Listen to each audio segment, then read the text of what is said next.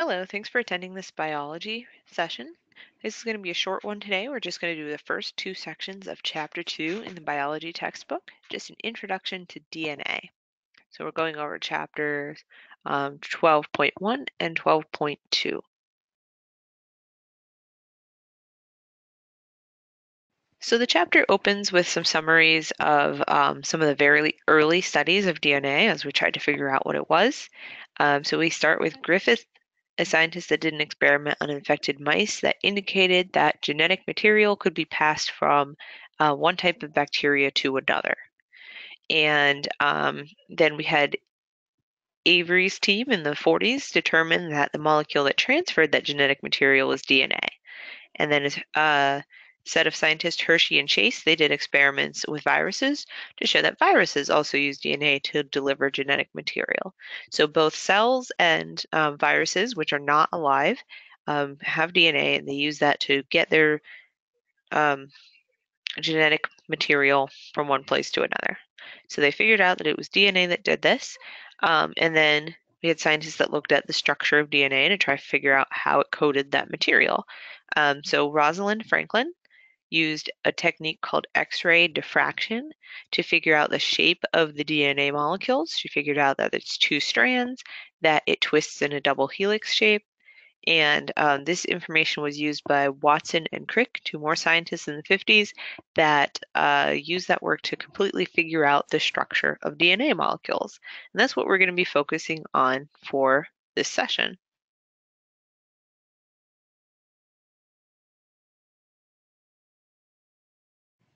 So why is DNA so important? Its main role is to store information. So your DNA stores the information for everything that your body does and everything that your body is. Um, all of that information gets passed down from cell to cell through DNA. So along with storing information, which is the number one job of DNA, it also has to be able to copy that information and be sure that every new cell has a copy because this um, is important that every cell has DNA because it tells the cell what to do, how to be a cell. And um, because this includes the reproductive cells, uh, eggs and sperm all get a copy of DNA, the DNA from parents is transferred to the offspring. So how do we have um, a molecule that's able to store so much information? Well, the giant DNA molecule is made up of millions of little segments, and the order of those segments is a code. So it's just like how Morse code is just dots and dashes, but by understanding the code, we can turn those into letters and words and even entire sentences. Um, DNA is made up of four different types of segments, and those are translated into a code that makes amino acids, and those come together to make proteins. So we're going to look at the different type of segments. So um, I've been saying segments, but the word that we use for these is nucleotides. Those are the little chunks that make up DNA. Um, there's millions of these in a row hooked together. Each nucleotide is made up of three parts, a phosphate group, a sugar, and a nitrogenous base. Now, the two parts on the left here, the phosphate and the sugar, those are consistent. Those never change. Those make the backbone of the DNA that kind of hold it all together. Um, and then the part on the right there, the third one, the nitrogenous base, that's what does the code. There's four different nitrogenous bases in the DNA, and the order in which those show up is what codes for things to happen. Um, so there's four different nitrogenous bases. There's adenine, guanine, cytosine, and thymine. And those are abbreviated A, G, C, and T. So you are definitely going to need to know those letters, and you're probably going to need to know those whole words, adenine, guanine, thymine, and cytosine. And you should know the three parts of the nucleotide. So those are called the nitrogenous bases, and the other two parts are a phosphate group and a sugar. And you put together a whole bunch of nucleotides to get DNA. So, okay, so a lot of nucleotides um, come together to make a strand. And looks something like that, but that's only half of the DNA molecule. That's one side of it. To make the other strand, um, other nitrogenous bases come, or I'm sorry, other nucleotides come in and they bond their nitrogenous bases to the existing bases. And now we have a complete DNA molecule. I mean, this is just a very tiny chunk of it, but you got both sides. So you get a sugar phosphate backbone on this side, nitrogenous bases bound together in the middle with hydrogen bonds, and then a sugar phosphate backbone on this side.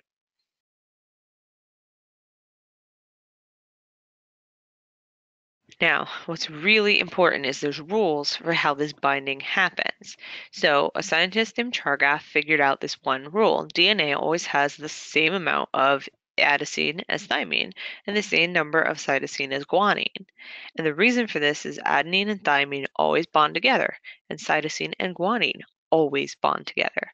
This rule is called base pairing, and it is super duper important. This helps us um, decode DNA and it makes DNA work. It wouldn't work if they didn't bond together in the correct order. Okay, so we have adenine and we have thymine. Um, A and T, they always bond together, and cytosine and guanine always bond together. Okay, so you will need to know that for sure.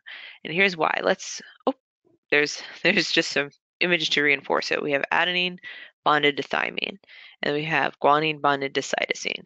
That's always how they're going to bond together. You never have an A bonded to a G or an A bonded to a C or bonded to itself. You don't have an A bonded to another A. It only bonds to T, and T only bonds to A, and C only bonds to G, and G only bonds to C.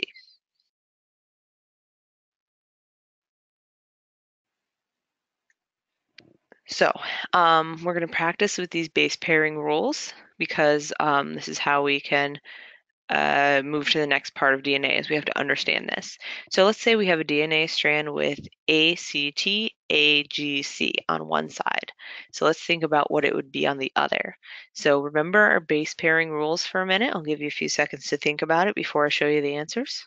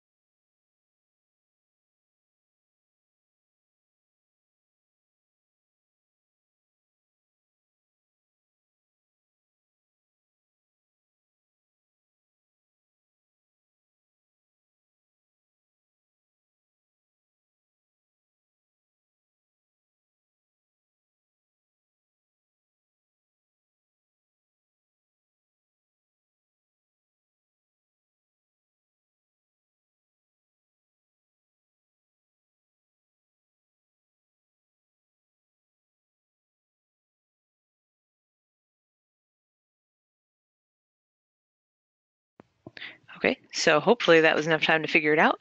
Our um, we always have A bonds to T, C bonds to G, T bonds to A, A bonds to T, G bonds to C, and C bonds to G. So if one side is ACT, AGC, the other side is going to be TGA, TCG. And I've also just got that shown with an actual diagram showing the nitrogenous bases. So we've got our phosphates and sugars, and then on the right we have the nitrogenous bases, each of the letters. And we're always going to have A bonds to T, C bonds to G, T bonds to A, A bonds to T, G bonds to C, and C bonds to G. And that's our second strand. So you will um, need to know how to do this on the test, you might be asked something like this, where they give you some DNA and they ask you to figure out what does the other side look like. So you'll need to know how to do that. Just remember those two bonding rules. A and T always go together, and C and G always go together. Now, because of the way they bond, um, the two strands in DNA are anti-parallel, and you could just think of that as being they are built in opposite directions. So um, we might have this first strand being built from top to bottom, and when it's re- when its complementary strand, the one on the other side, is built, it is going to be built from bottom to top. Um, so it also has something to do with the direction in which these phosphates and sugars are built, but for, for what you need to remember is that they just go in opposite directions. And then once you have those two strands come together to make two complementary strands that are hooked together, um, they end up twisting. They do this naturally. It's just what happens as it gets built. And so you get this DNA um, that's in the shape of a double helix. So this is really the iconic shape of DNA. A double, well, a helix is a twisted strand. And since you have two strands twisted together, you get a double helix. So that's the end of this section. And um, We'll talk about the second half of this chapter in the next video. But if you have any questions on this, don't hesitate to contact your instructor.